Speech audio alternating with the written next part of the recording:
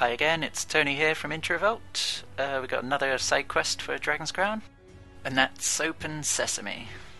A relatively straightforward one, but you just need to bear in mind that you need to purchase the runes from Lucain shortly after he gives you the first one. In particular, you need the T rune so that you can cast the spell when you get to the door. Okay, Ghost Ship Cove again for this one. The inside of the cave connects to a fissure on the coastline. It seems large enough to contain another ocean. Sailors dread passing through this area. There are myriad tales of ships disappearing. You need to pick path A when given the choice. This one's quite far into the level, but don't worry, you can't really miss it. Okay, let's jump ahead as normal.